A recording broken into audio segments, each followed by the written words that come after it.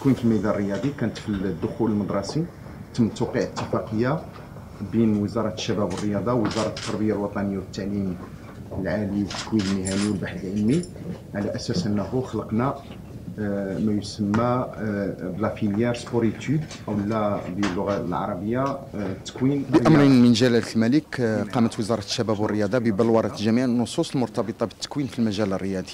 وهذا التكوين هذا ينقسم إلى قسمين قسم هو مرتبط بالتكوين الرياضي اللي كيكون فيه كتعطى فرصة للتلميذ من السنة اولى إعدادي حتى البكالوريا الحصول على بكالوريا رياضية.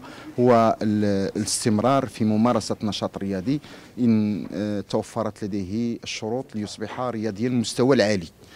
ال- الجزء الثاني هو مرتبط كذلك بالتكوين المهني في مهن الرياضة هذه واحد شيء جديد كذلك اللي غتوضعوا مع.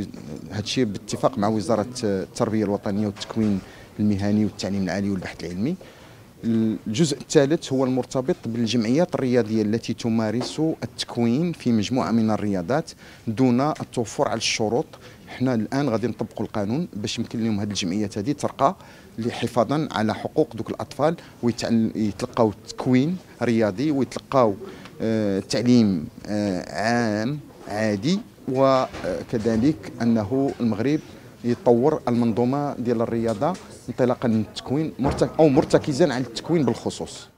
هذا البكالوريا الرياضي اللي كتسمح له حسب ال- البرنامج البيداغوجي اللي تم الإعداد ديالو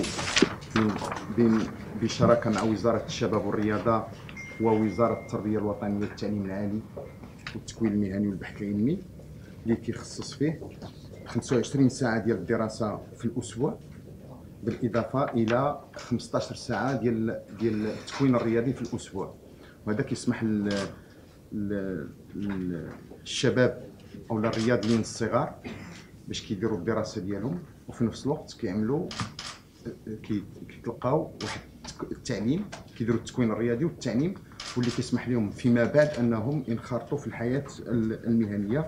ماشي لما كيكمل الفترة ديالو ديال الرياضة حسب السن وحسب النشاط الرياضي كيكون عرضه للضياع لأنه ما حصلش على تكوين.